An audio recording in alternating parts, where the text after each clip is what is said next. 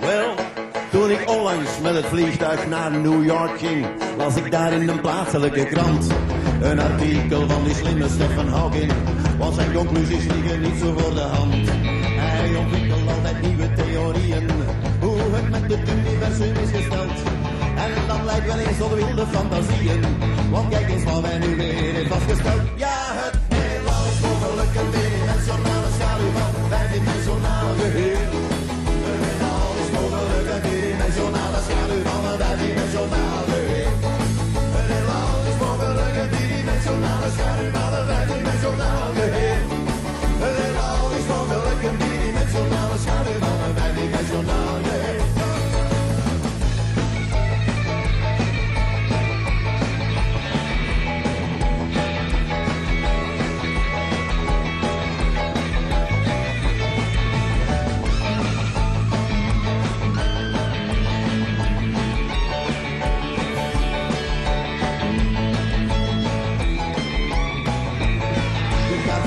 Daarmee heb ik geen problemen.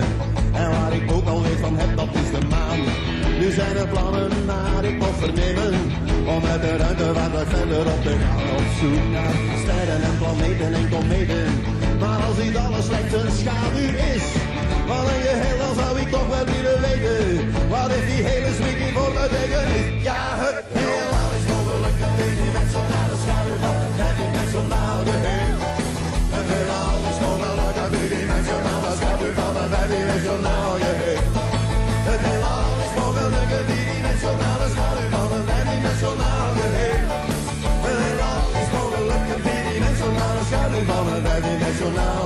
Allemaal! Het heelal is mogelijk een vierdimensionale schaduw van een vijfdimensionaal geheel.